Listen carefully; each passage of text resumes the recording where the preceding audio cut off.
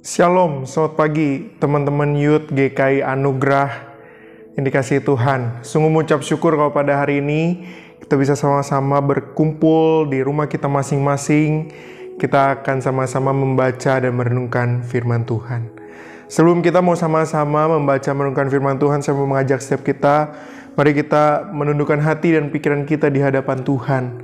Mari kita berdoa kepada Tuhan. Bapa kami dalam kerajaan surga, kami mengucap syukur kalau pada hari ini Tuhan kembali memberikan kepada kami kesempatan untuk kami bisa datang kembali ke hadapan Tuhan di rumah kami masing-masing dan kami mau mendengarkan firman Tuhan. Hamba berdoa kiranya Allah Roh Kudus yang akan menolong, memimpin, memberkati waktu ini. Supaya kami bisa sungguh-sungguh dapat memahami kebenaran firman Tuhan supaya kami bisa hidup di dalamnya, supaya kami bisa dikuatkan karenanya. Itulah sebabnya Tuhan kami sungguh-sungguh membawa hati kami yang hancur ini, hati kami yang betul-betul hina ini. Mohon Tuhan sendiri yang tolong dan mohon tangan Tuhan sendiri yang akan turun memperbaiki dan juga menjamah, menyentuh hati setiap kami. Hanya di dalam nama Tuhan Yesus kami berdoa ucapkan syukur. Amin. Oke, teman-teman, pada hari ini mari kita sama-sama mempelajari satu tema yaitu because of you. Because of you. Karena kamu. Nah, teman-teman, mari kita sama-sama membuka Alkitab kita dari satu Tesalonika pasalnya yang ketiga ayat yang ketujuh sampai ayat yang kesembilan. Satu Tesalonika pasal yang ketiga ayat yang ketujuh sampai ayat yang kesembilan, teman-teman. Jikalau sudah mendapatkannya, Koko akan bacakan untuk setiap kita demikian bunyi firman Tuhan. Maka kami juga, saudara-saudara, dalam segala kesesakan dan kesukaran kami menjadi terhibur oleh kamu dan oleh imanmu. Sekarang kami hidup kembali, asal saja kamu teguh berdiri di dalam Tuhan. Sebab ucapan syukur apakah yang dapat kami persembahkan kepada Allah atas segala sukacita yang kami peroleh karena kamu di hadapan Allah kita. Nah teman-teman Koko teringat ketika Koko masih SMA ada satu film yang sangat booming namanya Crazy Little Thing Called Love. Oke, ya buat teman-teman pecinta serial Thailand Nah ini mungkin tahu ya. Waktu itu kita seneng gara-gara ceweknya cantik banget namanya Pim Chanok ya. Dia dipanggilnya Nam, Pinam. Nah ya, buat teman-teman saya waktu itu uh, cewek-cewek mereka seneng sama pemeran cowoknya Mario Maurer. Nah ya, namanya Pishon. Nah teman-teman di dalam kisah ini digambarkan bagaimana sesungguhnya Nam itu adalah seorang gadis yang aslinya memiliki uh, wajah paras yang ya kurang di atas rata-rata begitu kan ya.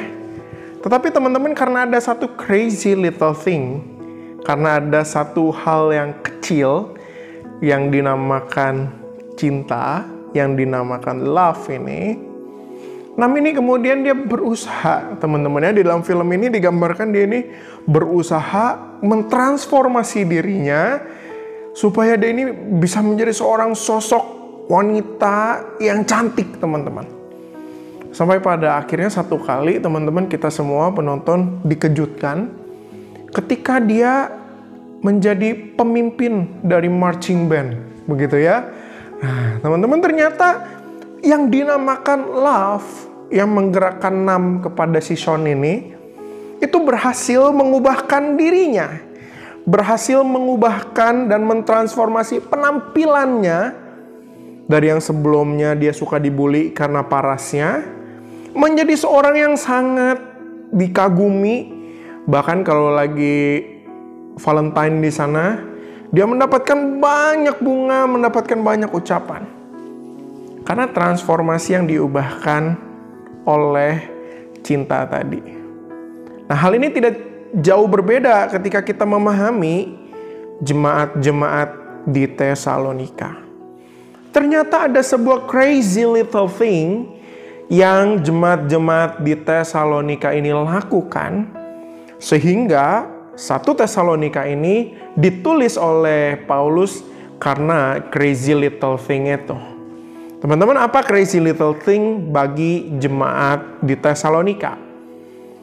Ternyata crazy little thing yang ada di dalam jemaat Tesalonika itu adalah endurance. Crazy little things called endurance. Bagaimana orang-orang jemaat di Tesalonika bertahan di dalam iman mereka? Bagaimana mereka terus-menerus berjuang mempertahankan iman mereka? bagaimana mereka terus berjuang di tengah segala kondisi, di segala tekanan, di segala penindasan yang mereka hadapi. Teman-teman, mari kita sama-sama lihat di dalam 1 Tesalonika pasal 1 ayat yang ke-6. Di situ dengan jelas Paulus menulis dengan demikian dan kamu telah menjadi penurut kami dan penurut Tuhan dalam penindasan yang berat. Nah, teman-teman, ini adalah satu gambaran bahwa penindasan yang dihadapi oleh jemaat di Tesalonika ini bukanlah penindasan yang biasa-biasa aja. Misalnya, dalam konteks mereka, mereka bukan hanya dibully aja, eh kamu orang Kristen, orang Kristen, begitu. Enggak. Tetapi mereka nggak cuma dibully, mereka dikucilkan dalam masyarakat, bahkan mereka disiksa, mereka dianiaya, dan nyawa mereka dipertaruhkan karena iman mereka kepada Tuhan. Mari kita sama-sama ingat bahwa ketika Paulus menuliskan surat 1 Tesalonika ini itu ditulis kurang lebih dari antara kurang lebih tahun 49 Masehi sampai tahun 51. Itu adalah masa pemerintahan Claudius, teman-teman. Nah, siapa lagi sih Claudius ini? Nah, teman-teman, mari kita mengenal Claudius bahwa Claudius ini adalah kaisar kedua dari tiga kaisar bengis yang dimiliki oleh kekaisaran Romawi. Sebelumnya ada yang bernama Caligula, dia memimpin dengan begitu bengis, dia benci terhadap umat Kristen. Dia melihat orang Kristen ini sebagai sumber dari masalah, sumber dari setiap pemberontakan-pemberontakan sosial yang sebenarnya bukan orang Kristen. Lalu kemudian kebencian ini turun kepada kaisar yang kedua yaitu Claudius yang merupakan latar dari kenapa Paulus menulis satu Tesalonika ini. Dan kemudian teman-teman tidak hanya Claudius, setelah Claudius ada yang namanya Kaisar Nero. Mungkin kita selama ini cuma dengar Nero-Neronya doang, begitu kan ya. Tetapi sesungguhnya kekaisaran Nero ini memiliki dua pendahulu yang sama-sama bengisnya. Yang sama-sama membenci kekristenannya. Yang sama-sama nggak seneng lihat orang Kristen. Tetapi di tengah-tengah kondisi seperti itu, orang Kristen di Tesalonika endurance. Mereka memiliki ketahanan di dalam iman. Mereka berhasil memperjuangkan iman mereka di hadapan Tuhan. Sekalipun pemimpin dunia begitu bengis menekan mereka. Sekalipun mungkin mereka tidak punya pegangan. Sekalipun mereka mungkin betul-betul tertekan. Dan that's why teman-teman.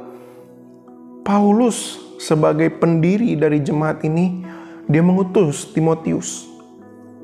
Paulus tahu bahwa jemaat di Tesalonika ini sedang begitu bergumul, hingga pada akhirnya dia putuskan, oke okay, saya akan mengutus murid saya, anak rohani saya yang bernama Timotius, untuk pergi ke kota Tesalonika untuk melihat apakah ada iman-iman yang lemah yang perlu dikuatkan, apakah ada bantuan-bantuan yang bisa diberikan, apakah ada doa-doa yang bisa dipanjatkan untuk mereka. Kenapa? Karena penindasan yang dilakukan oleh Claudius ini bukanlah penindasan yang main-main. Tetapi di dalam anugerah Tuhan, teman-teman. Jemaat di Tesalonika bertahan dan itu dicatat.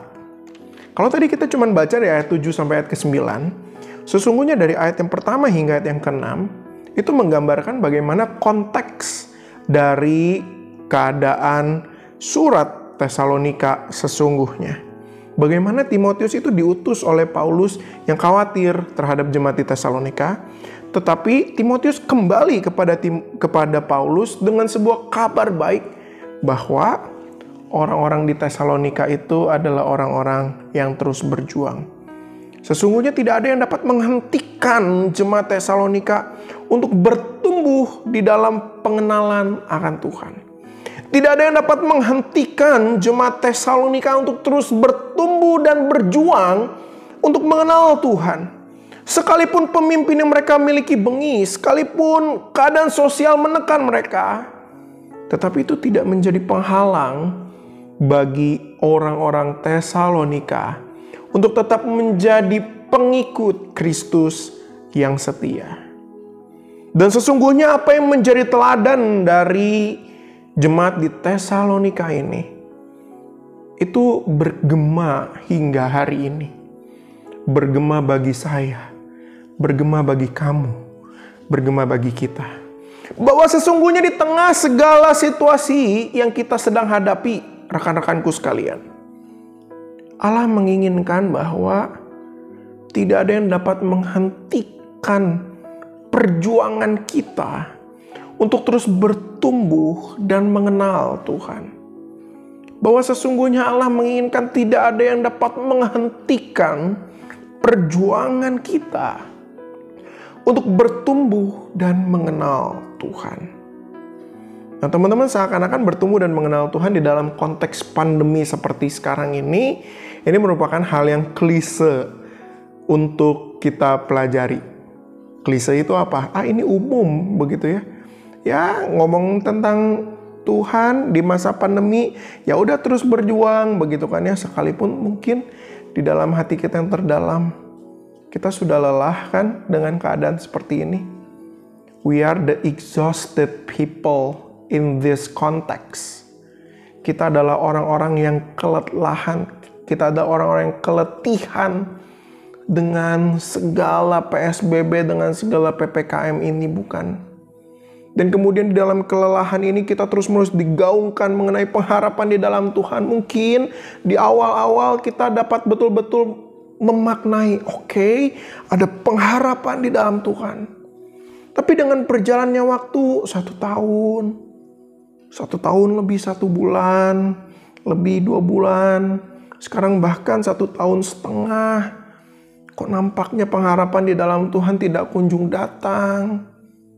Teman-teman mungkin kita adalah orang-orang yang sekarang mungkin sedang lelah berjuang. Mungkin engkau adalah orang-orang yang lelah untuk terus bertahan di dalam imanmu. Atau mungkin kau bertahan di dalam iman, tetapi imanmu tidak bertumbuh karena kelelahan dan konteks kehidupan yang kita hadapi sekarang. Teman-teman, mari kita sadari satu hal, bahwa Tuhan ingin engkau, saya, kita tetap bertumbuh di dalam segala konteks kehidupan yang sedang kita alami. Tuhan pengen kita terus bertumbuh, segersang apa pun keadaannya. Tuhan pengen engkau terus bertumbuh mengenal dia, sesulit apa pun situasinya. Sekarang pertanyaannya adalah kenapa kita harus bertumbuh? Kenapa? Nah teman-teman mari kita sadari bahwa sesungguhnya hal kecil ini bertumbuh di tengah-tengah kesulitan, ternyata ini memiliki dampak yang besar. Ternyata ini memiliki dampak yang besar, teman-teman.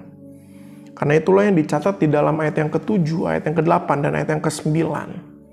Bahwa sesungguhnya perjuangan kamu untuk terus bertumbuh dalam masa sulit, itu dapat menjadi berkat itu dapat menjadi dampak buat orang lain. Sekarang apa saja berkat dan dampaknya itu? Mari kita sama-sama memperhatikan Alkitab kita.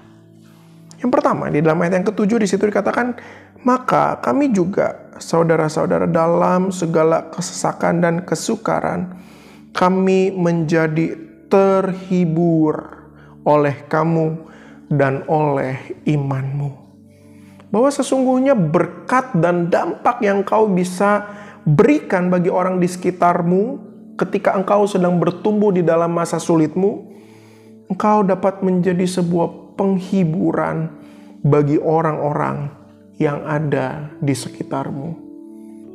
Teman-teman, itulah yang sesungguhnya Tuhan sedang kerjakan di dalam jemaat Tesalonika di dalam pergumulan mereka, dengan mereka berjuang itu dapat menjadi kekuatan bagi Paulus yang pada saat itu sedang berada di kota Korintus yang sedang melayani dan sedang menghadapi situasi-situasi yang kompleks di sana.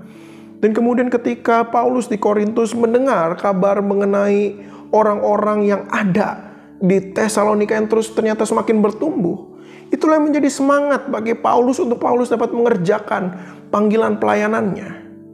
Bagaimana sesungguhnya kisah para rasul mencatat perjalanan panggilan pelayanan Paulus misi yang kedua itu bukanlah perjalanan yang mudah rekan-rekan. Dia harus bertemu dengan banyak penolakan-penolakan. Setelah pasal 18 dia berada di kota Korintus kisah para rasul. Di pasal selanjutnya dia akan maju ke Efesus. Di Efesus dia akan bertemu dengan orang-orang Skewa. Dan di situ dia akan bergumul lagi, bergumul lagi. Tetapi sebelum Paulus memasuki kota Efesus, Paulus mendapatkan penghiburan dari orang-orang di Tesalonika. Dan sesungguhnya mari kita sama-sama mau lihat bahwa keberadaan kamu itu juga bisa menjadi kekuatan buat orang-orang di sekitar kamu. Mungkin mereka nggak berbicara kepada kamu, secara langsung bahwa eh kamu itu jadi berkat loh buat gue. Tidak. Tetapi mungkin ketika orang lain yang sedang bergumul melihat kamu yang sedang bergumul juga dan kamu terus berjuang dengan iman, orang-orang di sekitar itu bisa berkata, "Oh ya, aku harus seperti dia ya. Aku harus seperti orang itu yang betul-betul berjuang bersama dengan Tuhan sesulit apa pun itu." Keberadaan kamu dapat menjadi sebuah penghiburan bagi orang-orang yang ada di sekitar kamu. Itu yang pertama. Yang kedua, bukan hanya menjadi penghiburan, tetapi dapat menjadi sebuah penguat, semangat bagi orang-orang yang mungkin telah putus asa. Menjadi sebuah penguat, semangat bagi orang-orang yang putus asa. Di dalam ayat yang ke-8 di situ dikatakan, "Sekarang kami hidup kembali." Seakan-akan Paulus waktu itu sudah mulai desperate begitu ya dengan konteks pelayanan yang ada. Tetapi ketika mendengarkan kabar mengenai orang-orang di Tesalonika, ada satu kalimat yang muncul, sekarang kami hidup kembali seakan-akan semangat yang tadinya patah, kembali lagi semangat yang tadinya udah jadi putus asa, sekarang muncul lagi dan berkobar-kobar lagi. Teman-teman, sesungguhnya itulah yang Tuhan juga ingin kerjakan di dalam diri kamu. Bahwa dengan keteguhan hati kamu, dengan pengenalan kamu akan Tuhan di dalam konteks sesulit apa pun, Tuhan bisa pakai itu untuk membangkitkan semangat orang-orang yang sesungguhnya telah putus asa. Mungkin kita tidak menyadari, mungkin kita tidak tahu, tetapi Allah mau memakai kamu supaya ada banyak orang-orang putus asa di luar sana yang kembali bersemangat karena mereka melihat kamu. Karena mereka melihat bagaimana Kristus ada di dalam kamu. Itu yang kedua. Dan ketiga dampak terakhir yang kita mau sama-sama lihat. Di situ dalam ayat ke-9 dikatakan, Sebab ucapan syukur apakah yang dapat kami persembahkan kepada Allah atas segala sukacita yang kami peroleh karena kamu di hadapan Allah kita.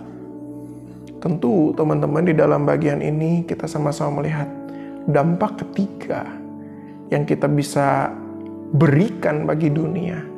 Itu adalah agar dunia dapat memuliakan Tuhan ketika mereka melihat kehidupan kita.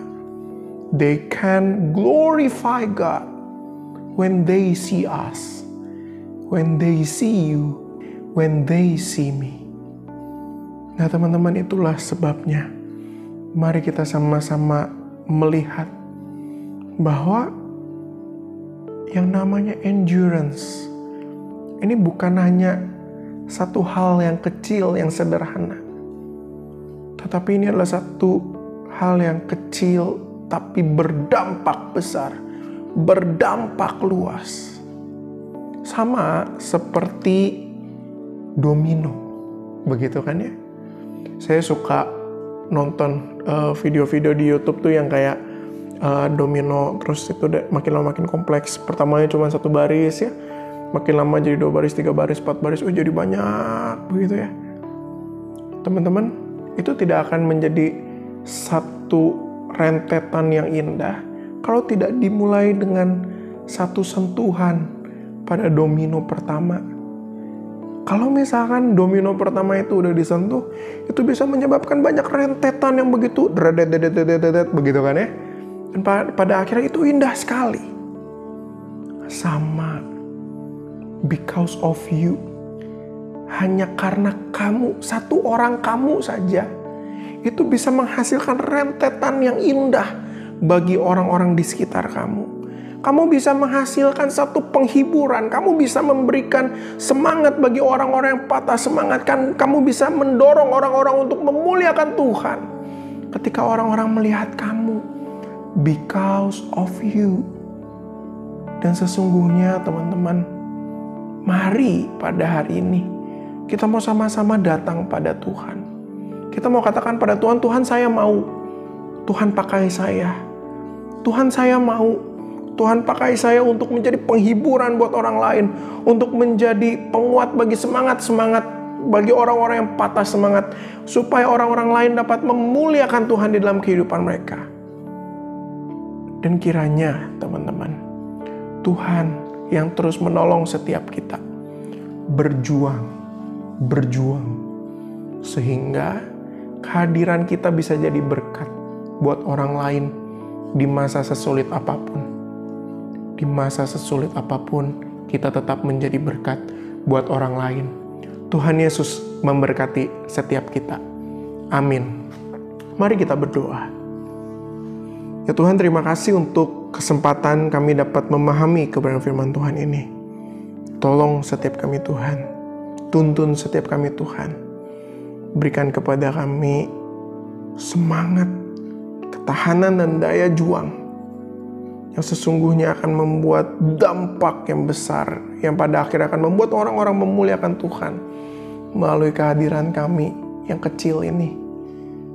Karena kami mau belajar meneladani Kristus yang telah berjuang mati-matian. Karena kami mau meladani jemaat Tesalonika. Di dalam masa-masa yang sulit pun tetap berjuang. Dan demikian pun kami. Hamba telah selesai menyampaikan firman Tuhan, namun hamba percaya roh kudus akan terus bekerja dan berkarya di dalam kehidupan setiap kami. Hanya di dalam nama Tuhan Yesus kami berdoa, ucapkan syukur. Amin. Tuhan Yesus memberkati setiap kita.